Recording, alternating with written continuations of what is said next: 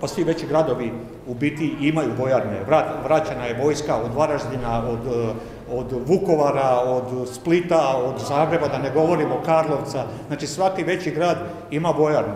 Mogla bi se u tim vojarnama provesti obuka da se dečke nauči rukovati naoružanjem, da ih se nauči E, osnove e, pješadijske obuke, to se može proći u mjesec dana, bar da nešto znaju.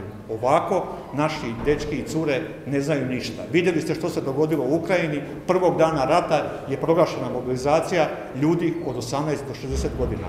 Što bi dobila Hrvatska da sutra proglasi mobilizaciju i da date momku od 19-20 godina, evo ja imam dva sina od 23 i 25 godina, da mu date pušku u ruku. Šta će on sa njom? On nikad u životu vidio nije, nikad je u životu držao u ruci nije. on je opasnost i za sebe i za druge. Prema tome to nije dobro.